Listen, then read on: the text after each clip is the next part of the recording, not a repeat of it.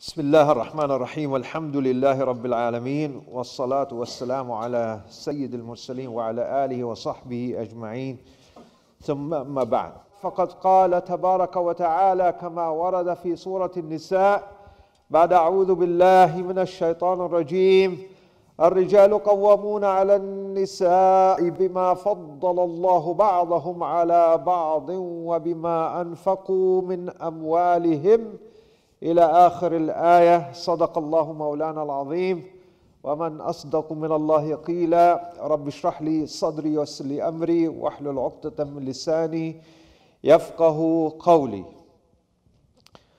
The goal, the aims and objectives and rights and responsibilities have been covered in the series of marriage in Islam.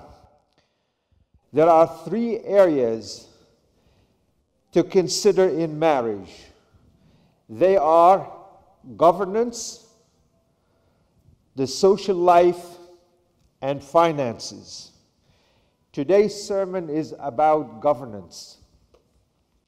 In some cultures, Muslim cultures, women who are from a well to do family usually is the one that make decisions even though the husband is the one who works and brings the money. In other words the wife is the boss. Whereas in the same cultures you find women who are from middle class to a lower class you find the husband to be in charge dictating to the woman to the wife and treating her like a maid or a servant as opposed to a partner in this marriage. They are treated like slaves. They are abused and bossed around by the husband. Now, what does Islam say about this? Who governs? Who sets the rules? And who decides, who makes decisions. First, let us understand uh, one thing before we move on that in Islam, marriage is considered to be an institution. Marriage is an institution. And what does that mean? When we talk about an institution, it means that there are rules of conduct, who does what, when, and how, and so on and so forth. For generations and for centuries, traditionally and culturally, all across the globe, all across all traditions and faith traditions, the mother, the father, the children, and grandparents passed on what the role of each is in the institution. For generations, mothers were homemakers. They took care of the internal management of the household, while fathers were the breadwinners. They are responsible to work and bring money to the house, to the family, so that they have the required resources to survive and meet their needs. The question is who heads that institution, that family, and who is responsible for making decisions? Now, as we know, in any institution, there can only be one head. You cannot have two heads to any institution. For example, you can have only one president in a given country. You cannot have two presidents. You can have only one principal in a school. You cannot have two principals. You may have many vice principals or many vice presidents, but only one heads the institution. So, like other institutions, in the institution of marriage, one has to lead.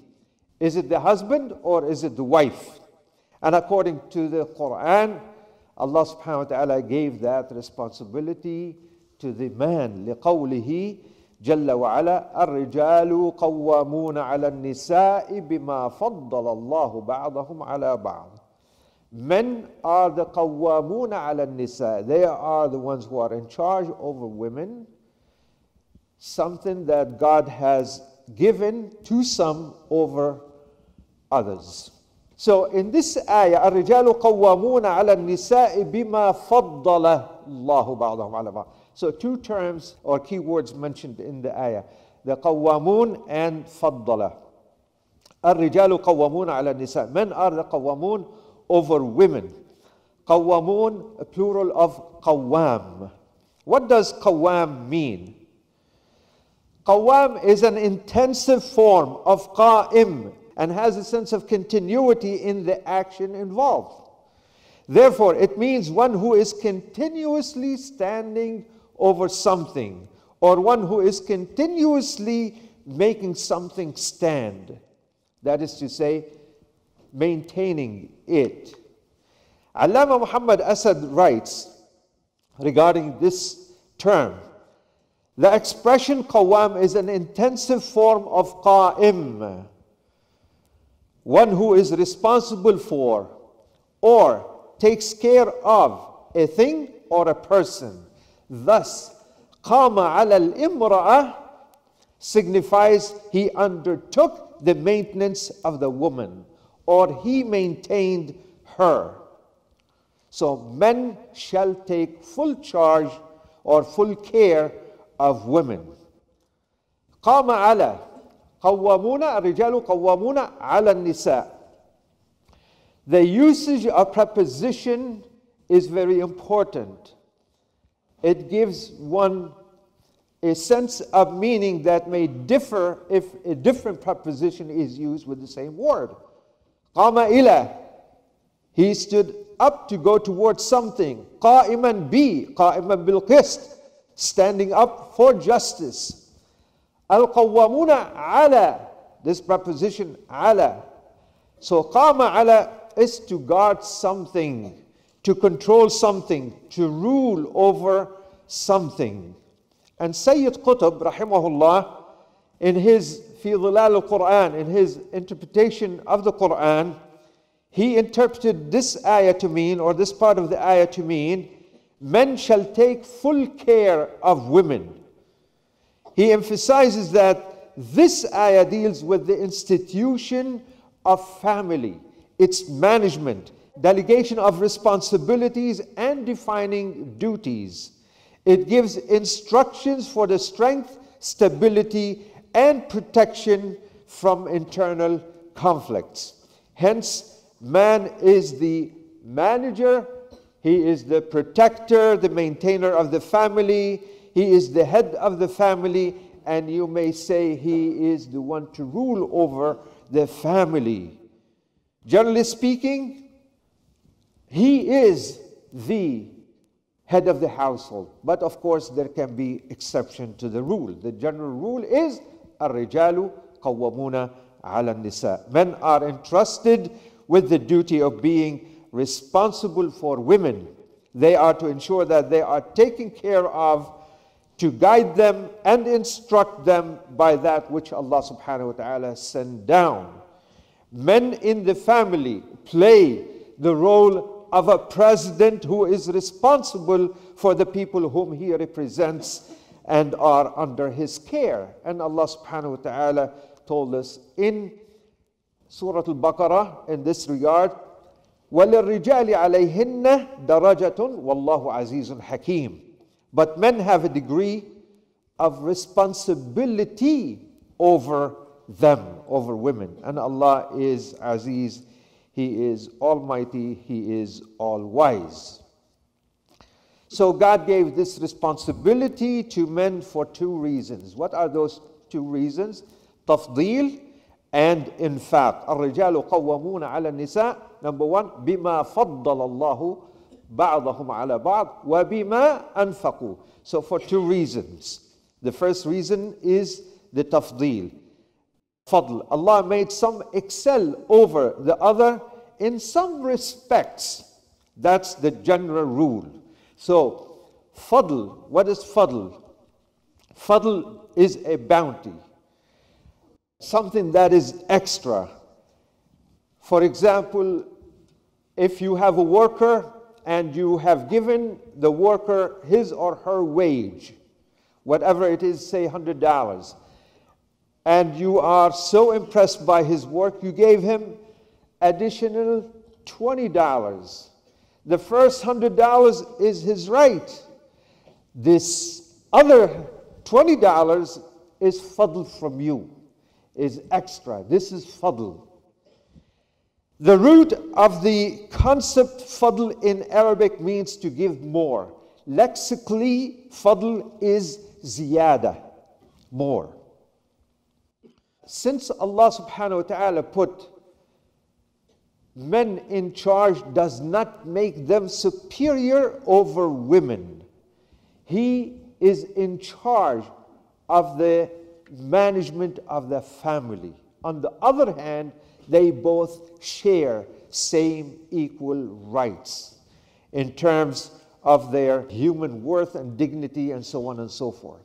However, when it comes in an institution setting and the management of that institution, then you may say that the employer may not be equal to the employee. They are not equal a teacher is not equal to the student, and so on and so forth.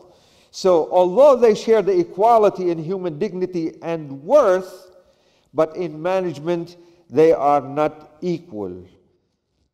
Allah subhanahu wa ta'ala informed us in so many places in the Quran regarding the shared equality among uh, human beings at the levels of morality and at the level of spirituality.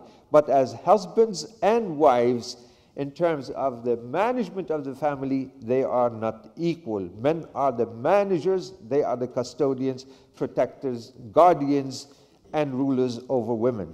So, since men are considered to be the head of the household and have the upper hand, it does not mean, please understand this point, it does not mean that God has given a higher status to men.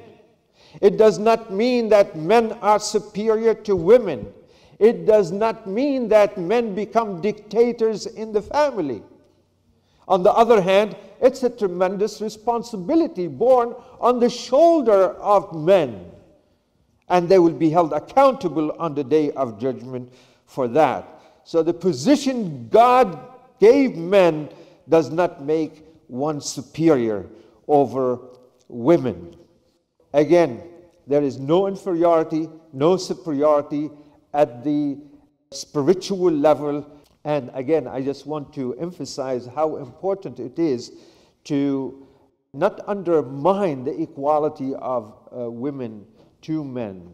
You know, what does Allah subhanahu wa ta'ala say in Surah Al Ahzab, equating men and women in so many different ways إن المسلمين والمسلمات والمؤمنين والمؤمنات والقانتين والقانتات and so on and so forth the believing men and the believing women the Muslim men and the Muslim women the devout men and devout women and so on and so forth so that tells us that it, it's possible that women could be superior to you in terms of her connection with Allah subhanahu wa ta'ala so it's not about superiority or inferiority. Allah subhanahu wa ta'ala created all humans equal.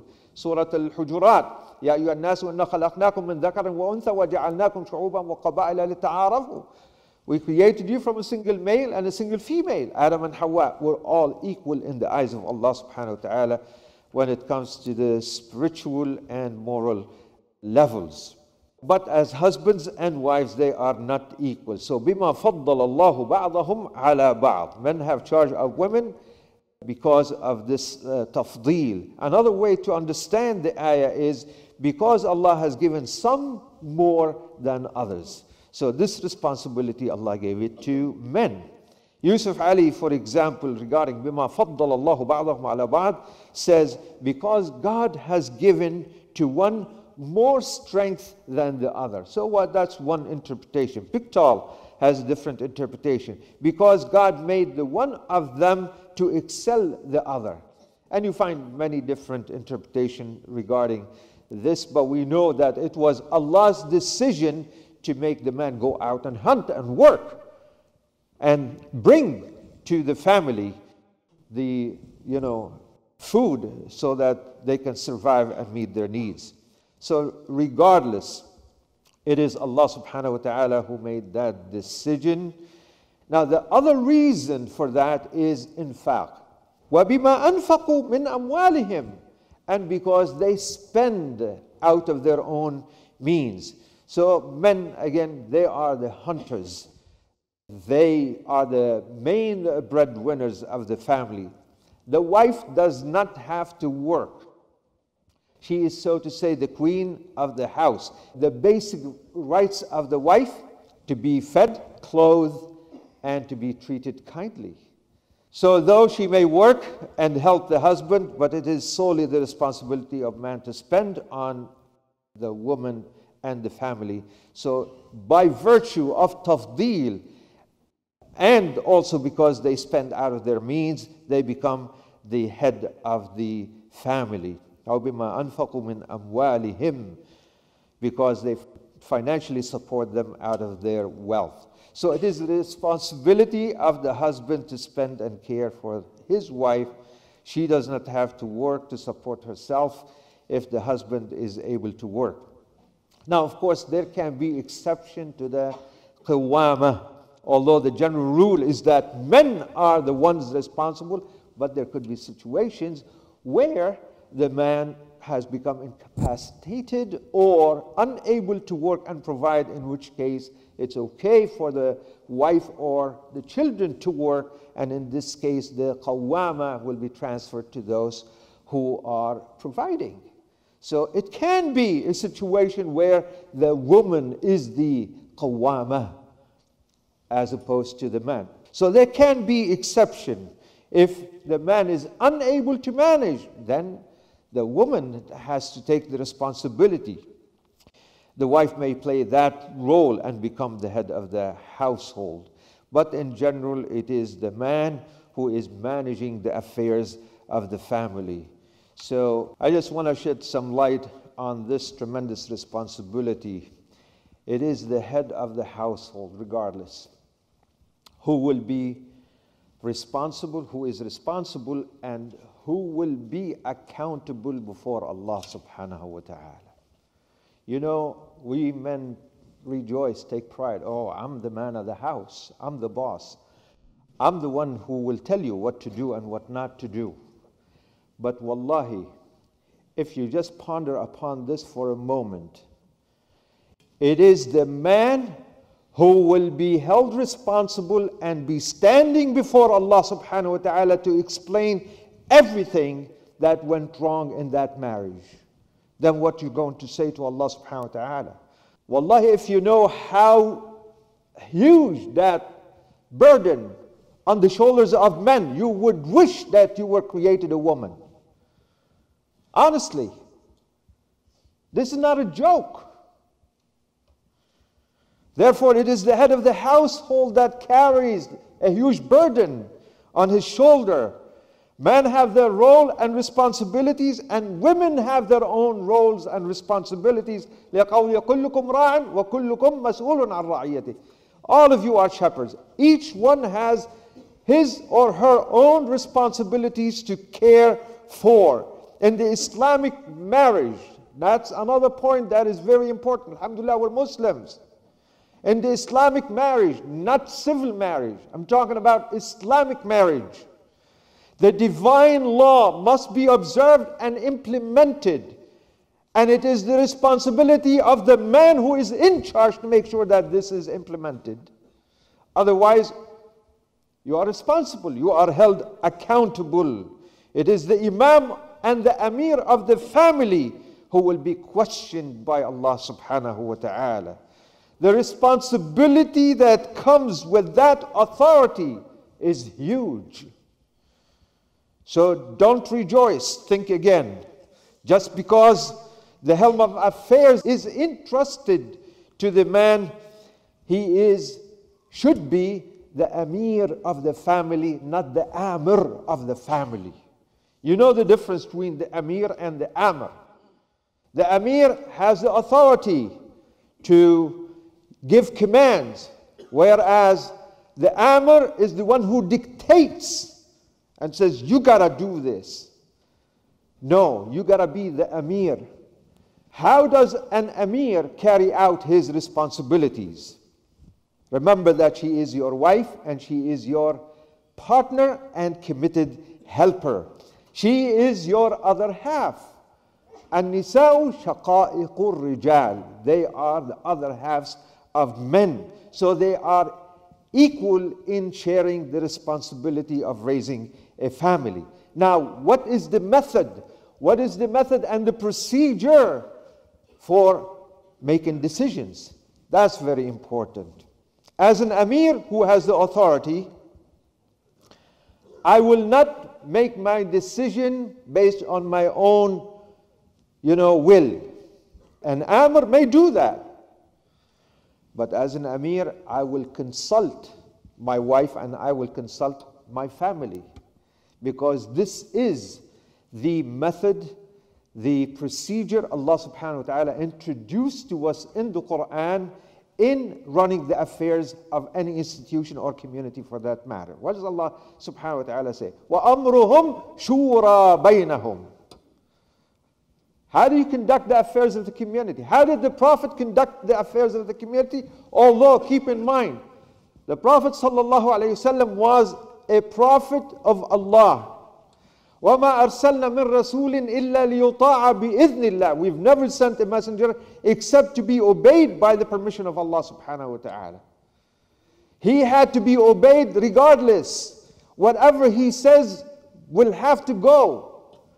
But then Allah is teaching the believers because after Muhammad sallallahu alaihi wasallam it is we it is the Muslims who will be running the affairs of the community how do we run that and marriage is an institution within this larger community how do you how do we run the affairs وَأَمْرُهُمْ شُورَى بَيْنَهُمْ Their matters are handled in mutual consultation. O Muhammad sallallahu alayhi wasallam, Consult them in all matters. He doesn't have to consult anybody. But to show us, to teach us how to make decisions. So whether you run a company or whether you are in charge of your family, شاورهم في الأمر consult them in the affairs. فإذا عزمت فتوكل على الله. Now, once you have consulted everybody, you took the data, collected the data.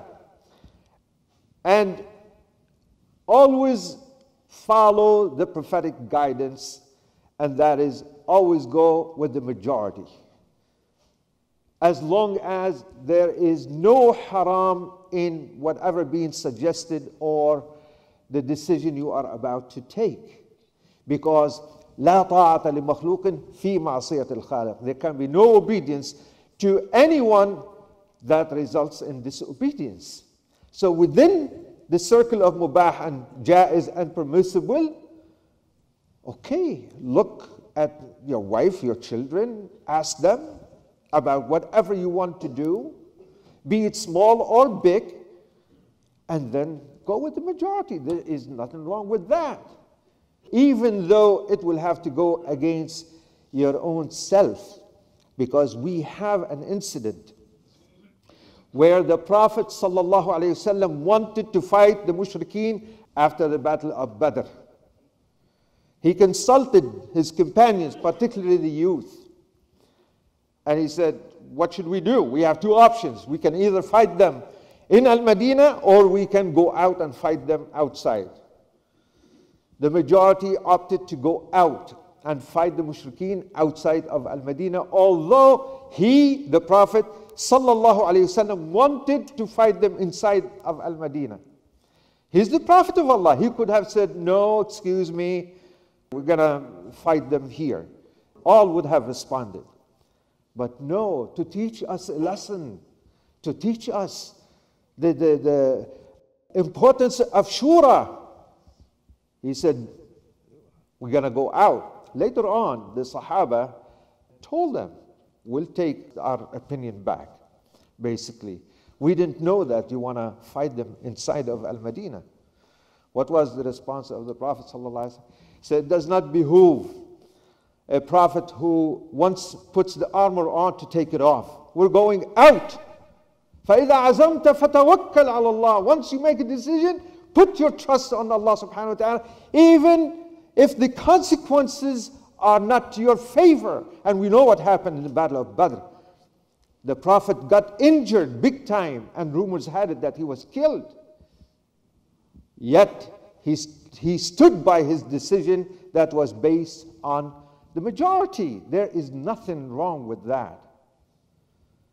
In the same way, you can apply that at home. You collect the data, you offer your own opinion, your own suggestion, and now, yes, the decision is yours. So everyone in the household has a say. Everyone can contribute. Each member of the family has something to share and contribute. And then you make the decision. So you handle the affairs of the family in a consultative way. And you know what? Sometimes we really underestimate the intelligence of uh, women, our spouses, and women in general. You know, we have this stigma. I don't know what it is. But let us learn from, you know, again, the Prophet wasallam, how important it is to always involve your wife in whatever you're going through, in your decision making, seeking an advice don't think that your wife is incapable to give you a golden advice like Umm Salama gave the Prophet sallallahu alaihi wasallam. While the Prophet and the companions set out to go for Umrah, the Prophet had a dream. We're going for Umrah. He gathered all the Sahaba, let's go for Umrah. And the dream of a Prophet is wahi, is wahi from Allah subhanahu wa ta'ala. So they gathered themselves and they set out to go to Mecca. Outside of Mecca, they met some emissary from the polytheists who knew that they were going there to perform pilgrimage, Umrah. So they stopped them and negotiated. The Prophet agreed that this year we will not perform Umrah, but we will come next year and perform the Umrah. Among other things, this is called the Treaty of Hudaybiyah or Hudaybiyah. You're familiar with it.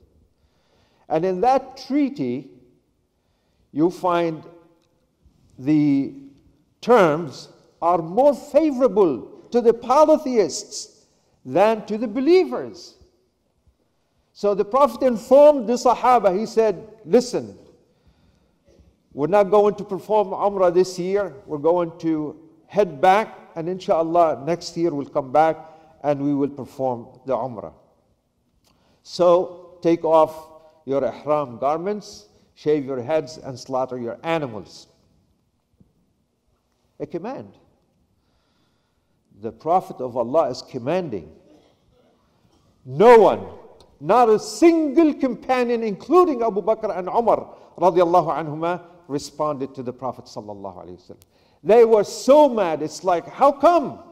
You are the Prophet of Allah. How come we're not performing Umrah? Why are we yielding to the polytheists? He didn't know what to do. He went into his tent. Umm Salama was with him radiallahu anha wa ardaha. He complained to her. He says, I don't know what's wrong with my companions. I told them one, two, three, but nobody responded. I don't know what to do. She said, Don't worry about it. You go out yourself in front of them. You shave your head, and then you know you change your clothes, you slaughter your animal, and inshallah, they will follow suit. They will follow you, one after another. What a golden advice. He did that. He did that. He did not doubt the intelligence of Umm Salama. She wasn't Aisha, the smart wife of the Prophet wasallam the most intelligent of not only all the wives, of all people for that matter. That was Umm Salama. very humble wife. And sure enough, he went out, he did exactly what his wife told him, and everybody, one after another, did exactly what he wanted them to do. The power of shura, the power of consultation. It works. The discipline of obedience, once a command is issued, it has to be there. We have to listen and obey, even though the decision was against my opinion. It matters not because what matters here is unity unity in the family, unity in the community. That's what matters. And Allah subhanahu wa ta'ala will most certainly put barakah in whatever endeavor or whatever decision you have made regarding whatever matter you are going through. Men are in charge, but they are not dictators.